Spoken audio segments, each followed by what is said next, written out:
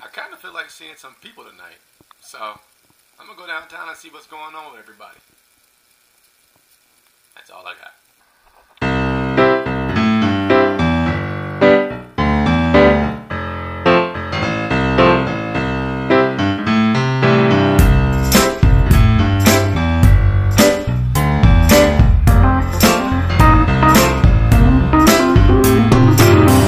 People are always wondering, where are the millennials at? And it's so simple. We're somewhere where we can feel like children again. Why? Because that's when we were carefree, fun, and honestly, our most authentic selves. We didn't choose the adulting life. The adulting life chose us. I'm sure you could feel the frustration in that. You know, as kids, our dreams were big and our imaginations were even bigger. Mine certainly was. Then, somewhere between the time of adulting for fun and adulting for real, I lost that carefree and fun person.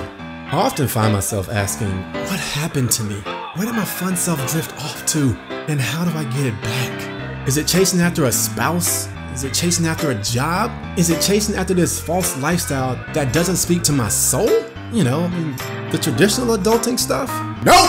For me, it's video games, board games, music, and fun people. Thank God for Boxcar. Our own slice of millennial heaven. It combines childlike fun and adulting into one freaking building. When I first walked in there, the energy was absolutely amazing.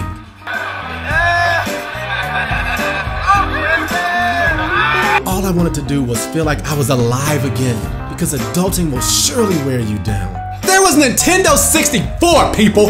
I was ready to bust some Super Smash Brothers. But you know, most importantly, there was fun and there was good people. Millennials often get a bad rep. What was once the top priority for older generations isn't the top priority for us, and that's okay. We value family, we value hard work, we value responsibility. But the one thing that we never want to forget about is our inner child, because a child's soul is pure, fun, and beautiful. This millennial generation is destined to do big things. But the one thing that we are destined to change is what it means to be an adult. Because millennial adulthood is about freedom, and we're determined to show what it truly means to live free.